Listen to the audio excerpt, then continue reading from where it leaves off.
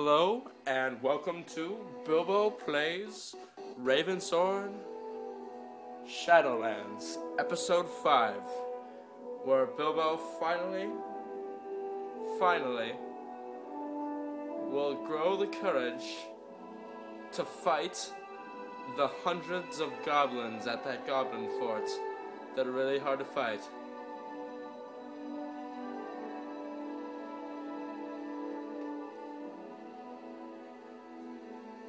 Now, if you've been enjoying this Let's Play, I would really ask you, and it would benefit me if you left a like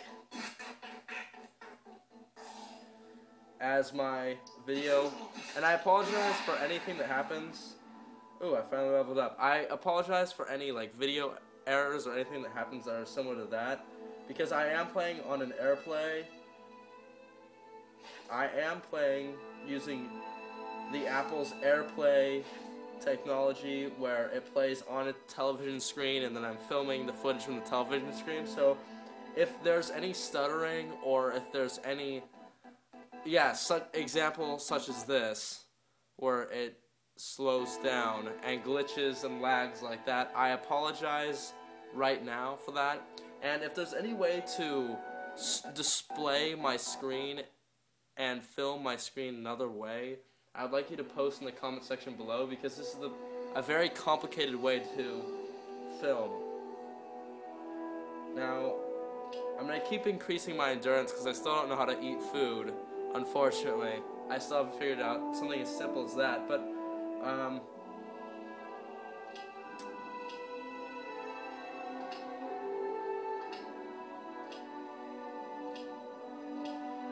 So, my quest leads to where Lamil needs to me to retrieve a vial of enchanted water from the pool beyond the troll caves. And I need to find these troll caves. Wherever they may or may not be. In fact, I don't even know if they're by the Goblin Fortress or not. I might want to check my map for that.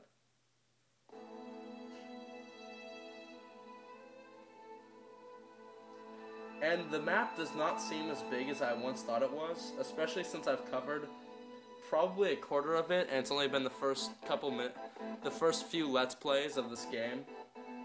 And I would really like to see in the next installment of Ravensword that it's a much larger map. Almost. I kind of expected when I first saw the map for it to be as large as the expansion pack for Skyrim. Because that to me was a pretty perfect example of a good sized map. And I think it would be nice if they had something to scale of that on a mobile device. That would be perfect. To scale of the Dragonborn DLC. Because that size is a very, very large size of things to do and places to explore although it is uh, not as big as Skyrim itself, it's still pretty substantially large. And finally past those few goblins that I was stuck on fighting before. Let's see if I can defeat and best these couple.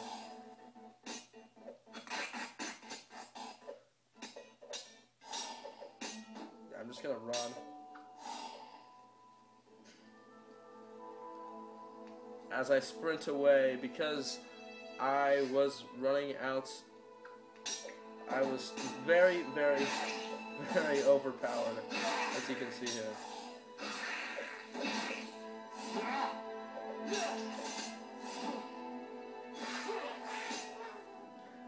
I wonder what the achievements are like and what they do in this game, because I had no idea there's achievements for the iPhone. And it seems to be glitching up a lot. It's really taking a long time for this to all render.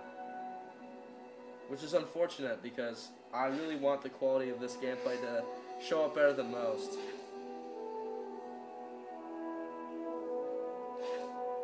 And I also apologize now that this is the first full Let's Play that I haven't either A, died in, or B, not had very much action in. So, as a side note, I respect you for following through into all these late Let's Plays that I've had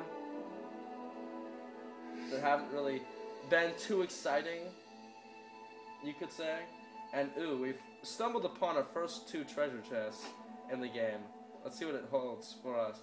So, a spiked club, and some gold, and a nice round wooden shield. So I'm going to take all that.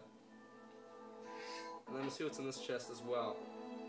That's an iron ingot, so I'm going to take that. I don't know if there's, like, mining or smithing in this game. But that would be an interesting way to add on to the gameplay of this Ravensword game.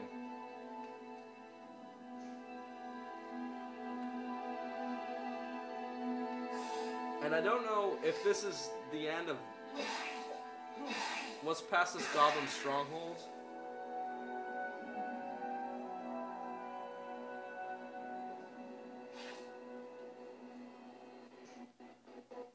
But I really want to know where that cave is because I want to finish this quest. And I thought this would be a, the place for it, but maybe not. Unfortunately, I don't think this is.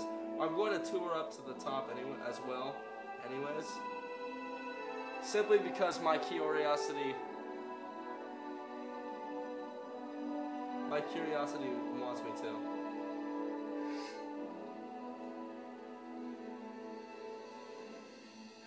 But there's nothing up here, unfortunately. To my unfortunate luck. And that was actually a decent bit of fall damage we received right there. And again, in the comments, post any replies on how to sprint, how to eat food, or or like heal and things like that, or place items in this inventory that you see down below that I'm touching.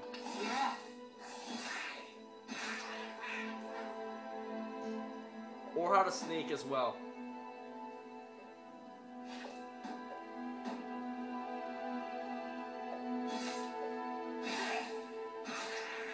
because those are all interesting uh, gameplay items that I would like to touch upon and base off of, and extremely helpful for the way and my game style generally is for RPGs. Generally, I am an archer in RPGs, and I like to sneak a lot. So, off of that, I would really like to know how to sneak and how to use archery too, not just sneak. But this looks like it might be what we came to look for for Lamil on the first quest. Oh, yeah, these are the troll caves. Alright, cool. So these caves are going to be filled with dangerous specimen of troll and species of troll. And um, I'm afraid we're going to have to conclude this Let's Play right here. Uh, I'm thankful that you're all watching, and I hope you watch the next one as we tour the troll caves with Bilbo Baggins.